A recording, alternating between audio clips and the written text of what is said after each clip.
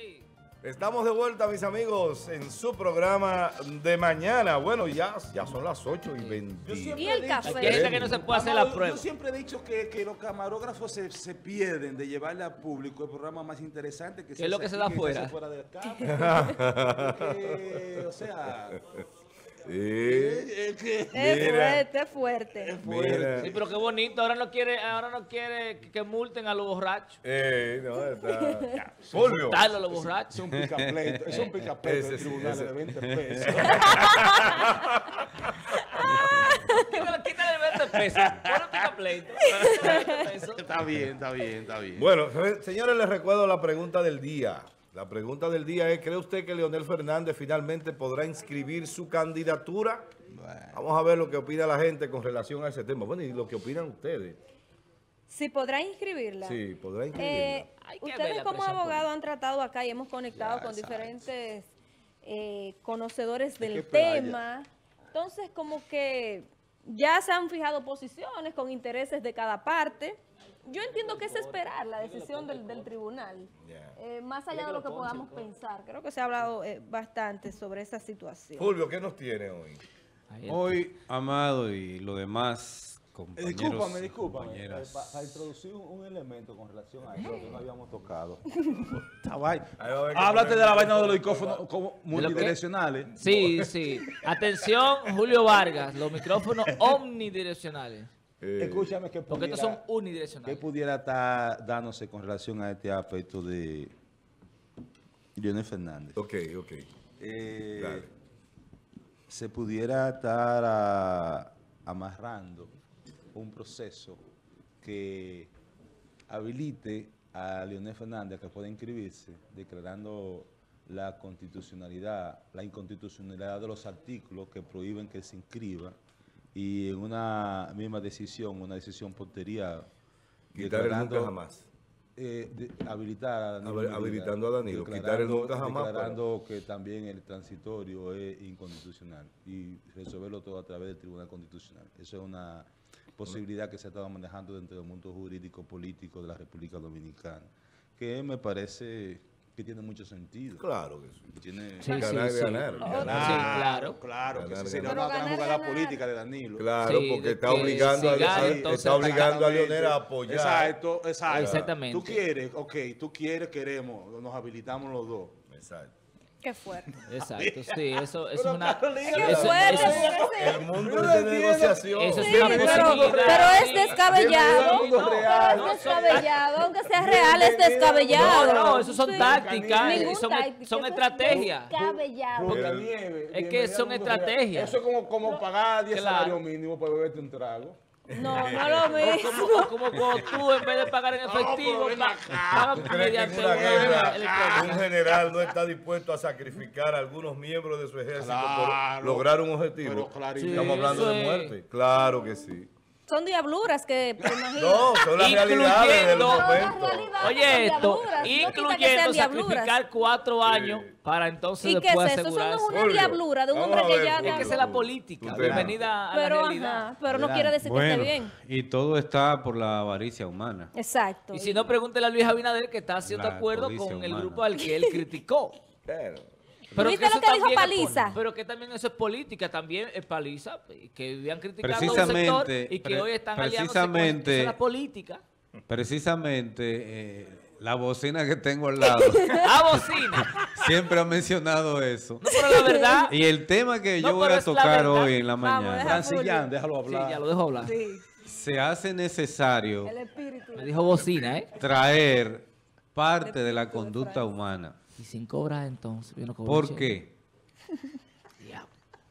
Los juristas, los abogados, lo que sucedió en el colegio de abogados,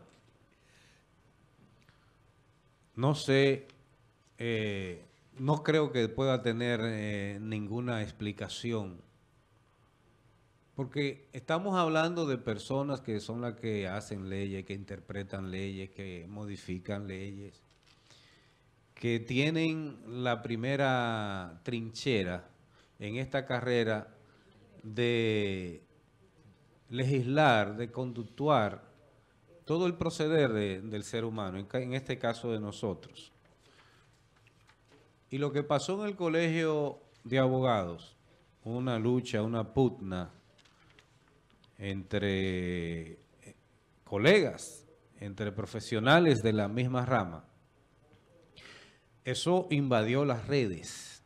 Inmediatamente, se quiera o no, envía mensajes a toda la población. Envía ejemplos a toda la población. Ejemplo de mal gusto, ejemplo que en la vida conductual pues dejan mucho que decir.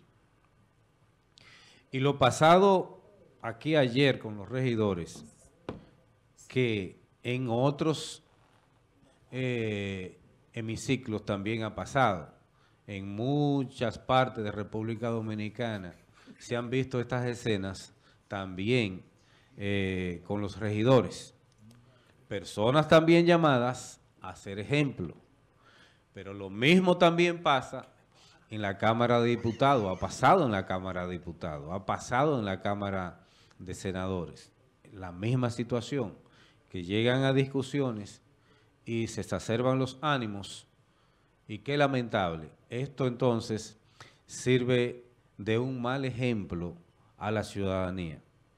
Y todos los gobiernos que hemos tenido, los últimos principalmente, han dado esta característica de dar malos ejemplos desde arriba. Son los primeros. Porque cada funcionario, desde el chiquito hasta el más grande, es un ejemplo en la sociedad.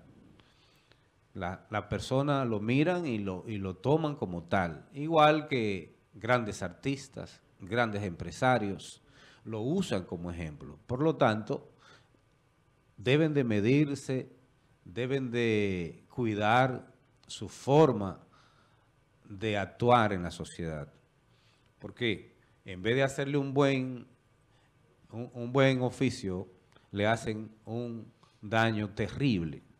Y yo quiero que producción me ponga primero la partecita donde está el juicio de Odebrecht, la llamada eh, novela del siglo XXI en República Dominicana. Esto es un ejemplo simplemente con una fotografía del juicio que se está llevando de Odebrecht. Cómo hay decenas de, de servidores públicos que están involucrados en, en, casos de corrupción, que están involucrados en casos eh, cuestionados en la sociedad. También, por favor, que me incluyan la partecita donde está eh, la trifulca significada ayer en el Colegio de Abogados. Donde aparecen, ok, ahí está, déjenla correr. Si hay audio.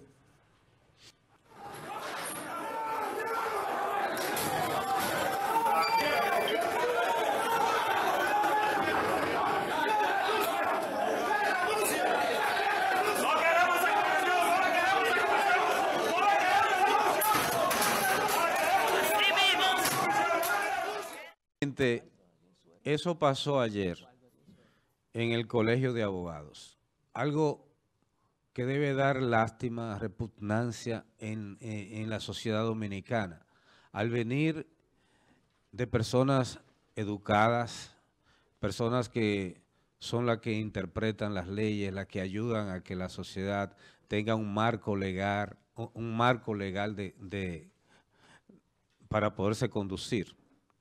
A raíz de todo esto que se está dando, en la parte política principalmente, donde hace falta mucho lo moral y lo ético, donde cientos de funcionarios públicos han estado involucrados en actos bochornosos de corrupción, de violencia intrafamiliar, de, de, violencia también personal nos trae a nosotros que la sociedad dominicana está en una crisis moral, en una crisis de valores. Los valores siempre han estado ahí, pero la sociedad dominicana en estas últimas generaciones se ha visto como un falto, una falta de respeto a sí misma y esta crisis de moral ha llevado a que algunos líderes dominicanos también lo pongan dentro de sus temas principales. Y yo quiero que por favor producción me ponga la foto donde aparece eh, Luis Abinader suscribiendo un pacto con todos los miembros de la Dirección Nacional de Campaña, firmando este pacto y este código de ética y de moral, porque él considera lo siguiente, y cito sus palabras, la crisis moral es la más profunda que afecta al país de todas las crisis que hoy tenemos. Las costumbres actuales, donde me digan a mí, gente, de una manera muy normal, si tú llegas, tiene que robar, porque el que va ahí va a robar. Y desde la vista misma de la persona, y cómo ven estos pleitos, y cómo ven todo accionar de una forma tan normal, evidencia que nuestras costumbres actuales nos obligan a retomar este tema que tiene relevancia mucho más allá de la ética, porque nos incluye a cada uno de nosotros. Y ya está bueno de dar ejemplo.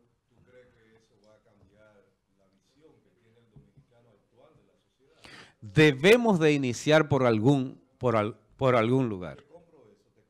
Pero lo que pasa con nosotros como sociedad es que nosotros hemos cambiado la libertad por libertinaje y la felicidad por el dinero. El respeto, la consideración, el buen nombre, Sí, la mejor cierto. forma de manejarse. Todo eso lo hemos cambiado por dinero, por Cierto. posiciones.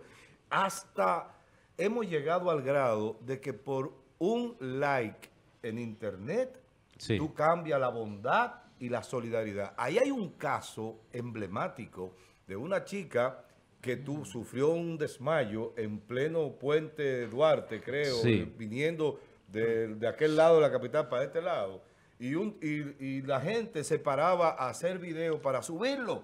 Y a Sí. nadie se le ocurrió ir a darle auxilio a esa Pero, pobre. Amado, las dos mujeres, ese es este país las dos mujeres que ultimaron a la otra mujer con 17 puñaladas, se escucha en el audio.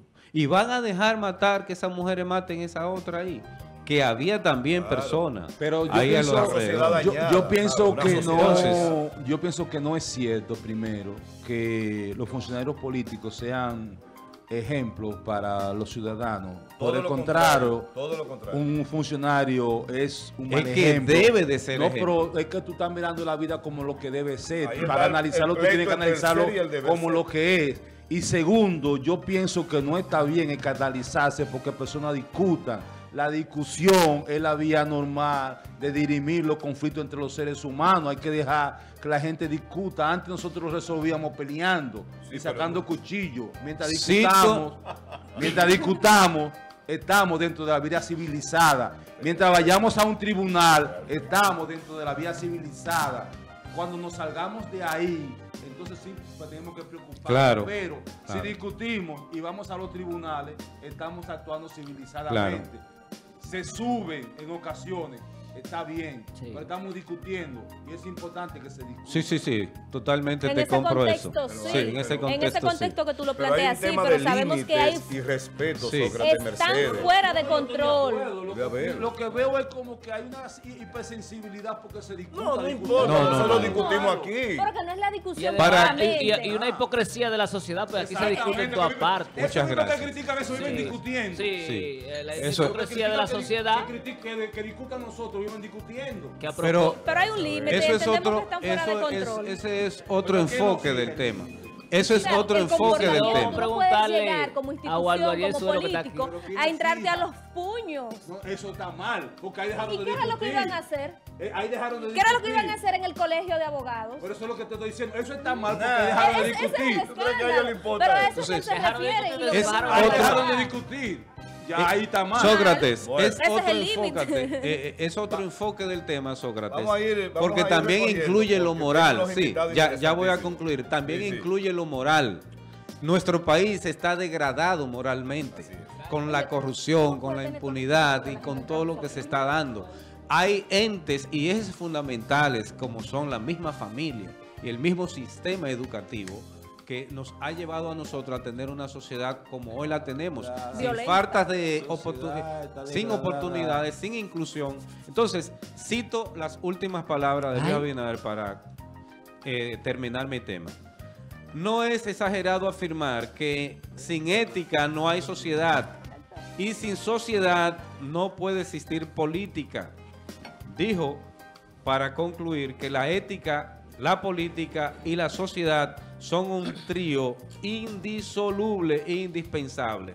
Indudablemente que estamos llamados a cambiar lo que está sucediendo en nuestra sociedad en pero el día de hoy. Las palabras Pero muy estamos Pero la llamados a intención, eso. pero pero no la, la intención hay que, hay Sí que felicitarla de, Luis Abinader. Es una muy Pero buena intención. nosotros- Sí hay sociedad sin ética. Tenemos que el llevar... grado- el grado, el nivel de degradación que sufre la sociedad dominicana hoy es por culpa de la política y de los políticos. Por eso Eso es lo el aspecto moral es lo que estoy planteando.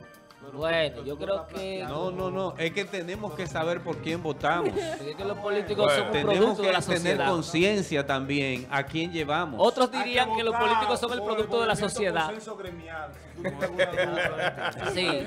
Bueno. de mañana.